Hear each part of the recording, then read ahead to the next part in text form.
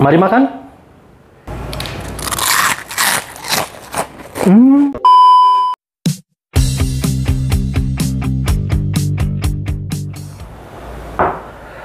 Assalamualaikum warahmatullahi wabarakatuh. Salam buat semua kawan-kawanku di mana pun berada. Jadi hari ini saya akan membuat cemilan atau makanan berbahan dasar dari jengkol. Ya, ini jengkol ya. Jadi hari ini saya akan membuat kerupuk jengkol yang renyah dan pastinya rasa jengkol. Langsung aja, di sini saya sudah siapkan 200 gram jengkol. Jengkol jengkolnya pilih yang jengkol tua ya, jangan yang muda. Ini jengkol 200 gram, sekarang kita rebus sampai empuk. Ini jengkolnya sudah saya rebus dan sudah saya dinginkan ya. Ini udah hipu banget. Teksturnya kenyal-kenyal, empuk seperti ini. Ini bagus jengkol tua. Ya. Jadi sekarang jengkolnya kita haluskan, tapi sebelumnya saya mau iris-iris dulu biar cepet dalam proses uh, pemblenderan. kita iris-irisnya nggak terlalu beraturan nggak apa-apa ya abstrak aja asal-asalan aja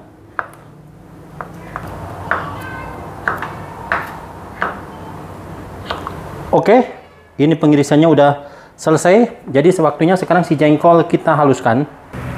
Kita siapkan blender, kita masukkan jengkolnya. Lalu kita tambahkan 250 ml air.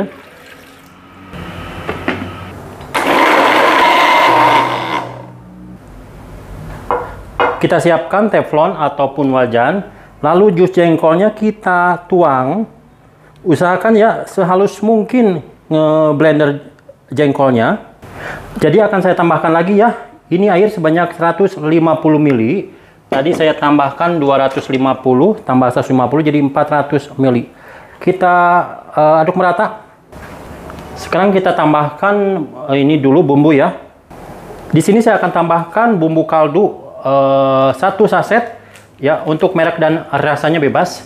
Jadi untuk penambahan bumbu kaldunya disesuaikan dengan bahan yang kita pakai ya. Kalau bahannya lebih banyak, bumbunya lebih banyak juga. Saya tambahkan satu saset.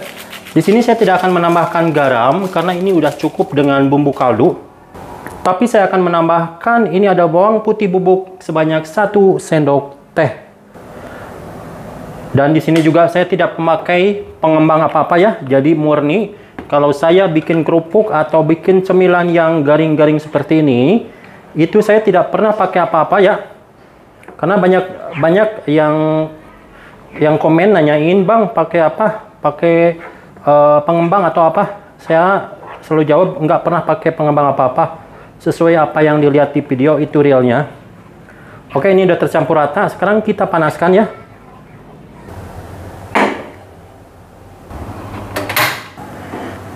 Kita masak ya sampai airnya ini surut. Si jengkolnya nanti mengental. Kalau air jengkolnya sudah surut ya, udah mengental seperti ini nih, ya. Jadi sekarang kita angkat aja. Ya. Jadi saya langsung ya di teflon ini kita adonin ya. Di sini saya akan tambahkan tepung tapioka ya. Saya pakai Pak Tani atau cap Pak Tani. Kita tambahkan tapioka secukupnya. Jadi untuk awal-awal saya tambahkan 5 sendok makan dulu karena ini ukur nggak bisa diukur uh, begitu aja ya. Harus di ini kira-kira. Ini 5 sendok. Selagi panas langsung ya kita uleni. Jangan biarkan sampai dingin. Oke kita tambahkan lagi 5 tadi 5 kalau 5 ya. 5 langsung kita aduk. Nanti kalau udah nggak panas kita uleni dengan tangan. Kita tambah lagi 5 lagi ya. Jadi total tepung tapioka yang sudah saya masukkan 15 sendok makan. Tambahkan 5 lagi. Jadi sekarang udah 20 sendok makan atau kurang lebih 200 gram. Kita aduk sampai merata, lalu kita uleni sampai kalis. Saya uleni dengan tangan ya, biar kelihatan kalisnya. Oke, ini adonan kerupuknya sudah kalis ya, udah enak enak banget.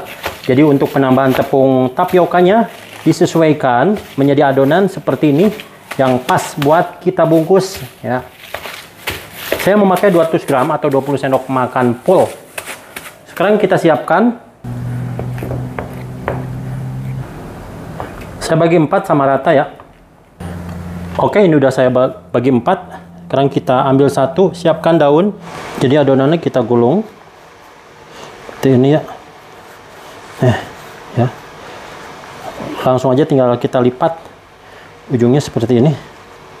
Seret. Nah. Ini juga sebelah lagi. Lipat. Seret. Seret. Nah. Ya.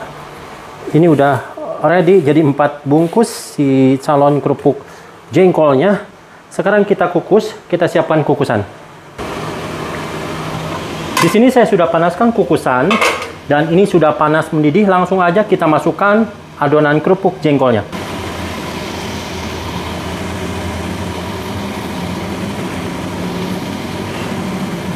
Kita kukus sampai matang ya kurang lebih 40 menit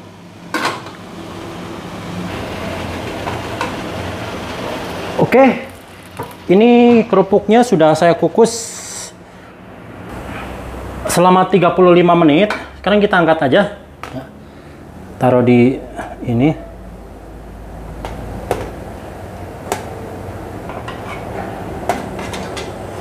Oke. Dan lalu kita dinginkan ya.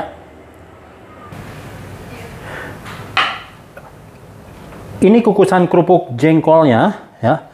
Ini masih hangat atau panas. Nanti kalau sudah dingin, ini daunnya dibuka, lalu kita simpan selama satu malam. Jadi untuk pengirisannya baru ketemu lagi besok siang, oke? Jadi ini kita tunggu dingin dulu, lalu simpan satu malam.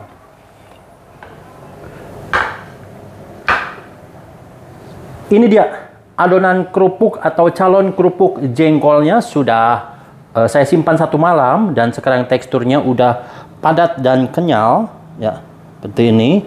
Oh ya buat kawan-kawan ya jadi cara penyimpanannya karena ini full dari tepung tapioka. Uh, pas masukin si adonan kerupuk ini ke dalam lemari es ya kita taruh dulu di freezer selama 4 jam ya. Habis itu baru diturunin lagi ke bawah ya. Supaya hasilnya seperti ini bisa uh, padat dan kenyal karena kalau cuma taruh di bawah itu nggak akan padat dan kenyal. Dia pasti masih tetap akan lembek ya. Jadi caranya seperti itu. Kalau pas masuk lemari es, taruh aja di freezer dulu selama 4 sampai 5 jam. Habis itu turunin lagi ke bawah dan itu sampai besoknya tetap di bawah dan hasilnya seperti ini. Oke. Jadi sekarang si kerupuk e, jengkolnya ini kita iris-iris ya, kita potong-potong tipis. Kita siapkan pisau yang tajam ya. Saya mau belah dua dulu atau potong dua.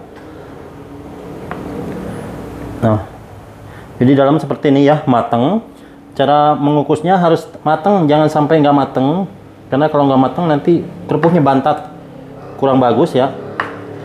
Jadi kita iris setipis mungkin ya, supaya nanti cepat kering dan hasilnya itu mengembang. Nah, saya ngirisnya ukuran segini ya.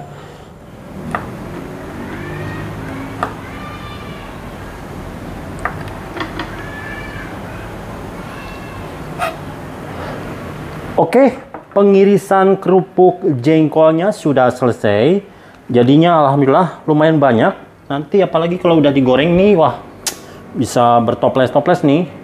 Dan sekarang waktunya kita jajarkan di nyiru ya atau di nampah lalu nanti kita jemur. Ini kita siapkan nyirunya.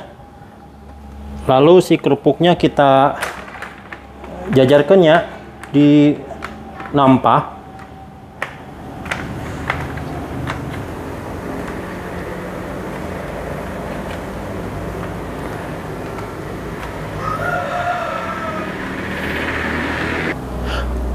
Oke, ini udah selesai ya penjajarannya penjajarannya udah ready, udah siap kita jemur sekarang.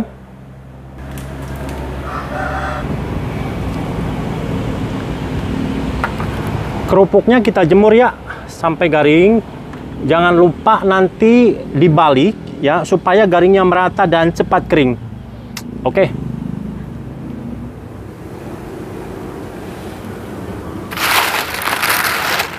Oke, ini kerupuk jengkolnya sudah garing ya. Sudah kering, saya jemur satu hari, Alhamdulillah kering.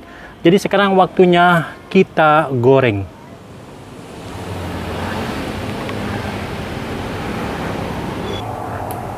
Langsung aja di sini saya sudah siapkan minyak di atas wajan dan ini minyaknya sudah panas. Kita coba goreng si kerupuk jengkolnya. Kita masukkan ya kerupuknya, mudah-mudahan mengembang. Wow. Alhamdulillah kerupuknya mekar ya.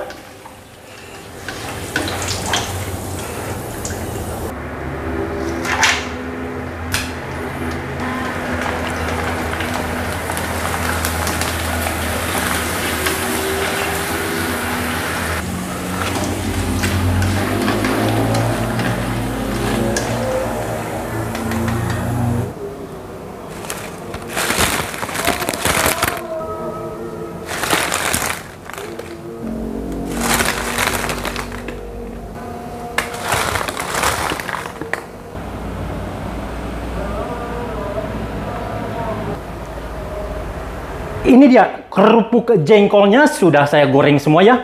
Alhamdulillah hasilnya sangat banyak dan sini aromanya sangat harum sekali harum dari jengkol pastinya.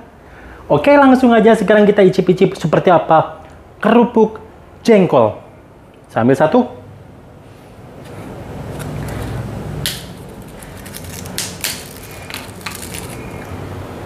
Mari makan. Hmm. Wow.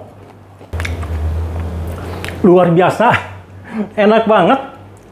Rasa jengkolnya sangat berasa.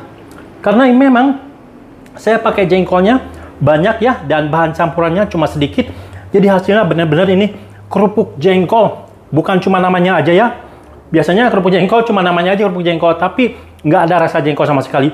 Kalau ini real nyata bener-bener.